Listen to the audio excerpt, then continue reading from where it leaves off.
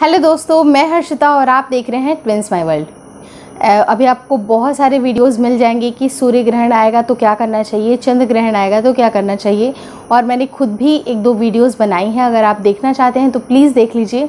लेकिन एक चीज़ मैं आप लोगों के साथ यही बोलना चाहती हूँ कि जितनी भी गर्भवती महिलाएँ हैं, उनको कोई चीज़ें मना की जाती हैं कि ये चीज़ें नहीं करनी है तो उनके दिमाग में कहीं ना कहीं ये क्वेश्चन तो ज़रूर आता होगा कि ऐसा क्यों है, इसके पीछे का कारण क्या है?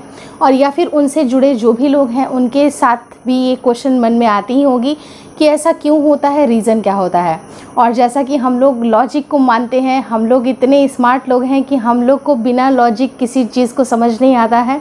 देखिए, अंधविश्वास जो लोग मानते हैं, इसे अंधविश्वास कह लीजिए या उनका विश्वास कह लीजिए, बड़े लोगों की बहुत सारी मान्यताएँ होती हैं और सबकी अपने घर के अंदर भी बहुत सारे रूल्स रेगुलेशंस होते हैं, जिसे हमें फॉलो करना चाहिए या नहीं करना चाहिए, ये डिपेंड करता है आपके ऊपर। लेकिन जो सबसे मोस्ट इंपॉर्टेंट जो चीज़ होती है, ये सूर्य ग्रहण, चंद्र ग्रहण जैसी चीज़ों में, कि आप कितना ज़्यादा कंफर्टेबल हैं अपने हेल्थ को लेके, आपकी बेबी के साथ सब कुछ ठीक तो है, आप ठीक तो हैं उसके बाद ही आप अपने हिसाब से कुछ रूल रेगुलेशन थोड़ा सा मॉडिफाई करके फॉलो कर सकते हैं। और देखिए, मैं फॉलो करने की बात आपको इसलिए भी बोल रही हूँ क्योंकि देखिए, बड़े लोग हैं। अगर उनकी बात को रख लिया जाएगा तो इसमें भी कोई हर्ज नहीं है। लेकिन हाँ शर्त यही है कि आपको अपने कंफर्टेबिलिटी का पूरा ध्यान रखना पड़ेगा क्योंकि देखिए, आपका बच्चा अभी आपके लिए काफ़ी इंपॉर्टेंट है। तो रही बात इस क्यूरोसिटी की, हम लोग साइंस से रिलेटेड जितने भी लोग हैं, सारे लोग लॉजिक को फॉलो करते हैं, क्योंकि देखिए आजकल कोई भी ऐसा इंसान नहीं है जो कि अंधविश्वास में आके ये सारी चीज़ें को मान ले। उसके मन में ये क्वेश्चन होता ही होता है कि ऐसा क्यों होता है? तो ये क्वेश्चंस बहुत सारे लोग एक दूसरे से पूछते होंगे, अपने बड़े लोगों से पूछते होंगे।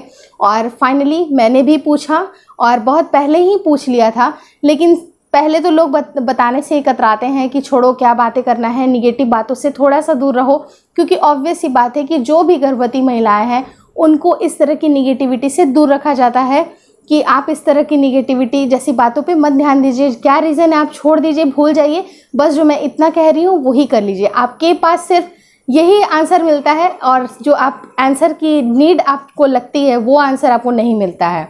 तो आज की वीडियो में मैं आपको यही बताऊँगी कि इसके पीछे सच्चाई क्या है, आपको क्यों मना किया जाता है? तो सबसे पहले जो हमारे बड़े लोग हैं, उनके हिसाब से जो उनके भी बड़े लोग, उनके भी बड़े लोग, बहुत सारे लोग उनको यही बताए थे कि गर्भवती महिलाओं को किसी भी तरह की काटने, सिलने या चुभने जैसी चीज़ों का इस्तेमाल नहीं करना होता है। इवन वो पेन, पेंसिल तक का भी इस्तेमाल नहीं करेंगी तो बहुत अच्छा होता है। देखिए, उनके अकॉर्डिंग ऐसा मान्यता है कि अगर जो महिलाएँ इस तरह की चीज़ें इस्तेमाल करती हैं, उनके बच्चे में कुछ उनके अंग थोड़े से ख़राब होने के चांसेस बनते हैं। मे बी कुछ भी हो सकता है। मे बी वो छोटा रूप ले सकता है या बड़ा रूप ले सकता है। और बहुत सारे लोगों को आपने देखा भी होगा कि बाय बर्थ ये डिफेक्ट्स पहले से ही आती है। तो इसके पीछे देखिए, सच्चाई क्या है? ये साइंस इसको बिल्कुल भी फॉलो नहीं करता, इस बात को थोड़ा सा भी सपोर्ट नहीं करता। लेकिन उनके हिसाब से जो उनकी मान्यताएँ हैं, जो शुरू से चलती आ रही हैं तो एज अ गर्भवती स्त्री या फिर एज अ मदर आप क्या सोचोगे कि आपके बच्चे के लिए किसी तरह का कोई नुकसान ना हो? तो आप उनकी बातों को थोड़ा फॉलो भी कर लीजिए तो इसमें कोई हर्ज नहीं है। लेकिन मैंने शुरू में ही आपको बताया कि जो ज़रूरी चीज़ है, वो है आपका कंफर्टेबल होना, आपकी सुविधा का ख्याल रखना ज़्यादा इंपॉर्टेंट है।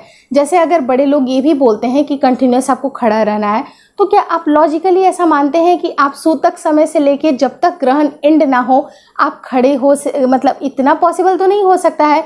क्योंकि एक प्रेग्नेंट लेडी को टाइम टू टाइम पे रेस्ट ज़रूरी है।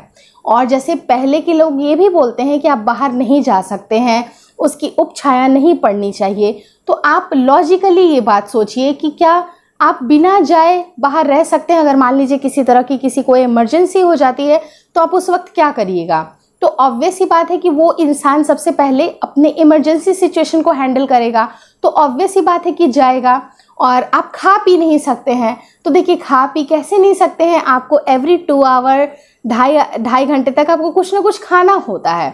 तो आप जो भी उपाय, जैसे मैंने बताया था, तुलसी का पत्ता आप रख लीजिए। उनके हिसाब से भी कुछ चीज़ें अपनाइए, लेकिन अपनी कंफर्टेबिलिटी को ध्यान में रखते हुए। यही इसका रीज़न है कि उनके बच्चे में किसी तरह का कोई डिफेक्ट्स ना आए इसलिए वो चीज़ें फॉलो करती हैं, लेकिन शर्त यही है कि आपका कंफर्टेबल होना काफ़ी ज़्यादा ज़रूरी है।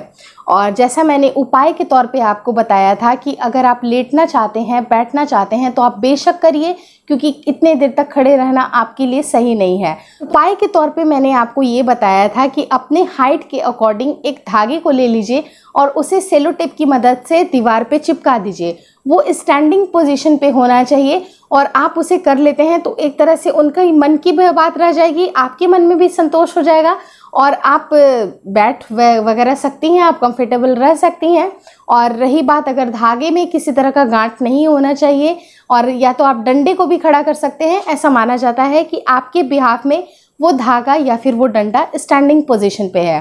तो सबसे जो ज़रूरी चीज़ है आपका और आपके बच्चे का अच्छे से रहना कंफर्टेबल रहना हेल्दी रहना। तो अगर आपको मेरा वीडियो अच्छा लगा है तो इसे शेयर करिएगा उन लोगों के साथ जिसे इस वीडियो की बहुत ज़्यादा ज़रूरत है। और ज़रूर आप ऐसा करिएगा, आप लोग बहुत समझदार लोग हैं, इस वीडियो को बहुत ज़्यादा से ज़्यादा लोगों तक पहुँचाइए। Thank you so much for watching twins my world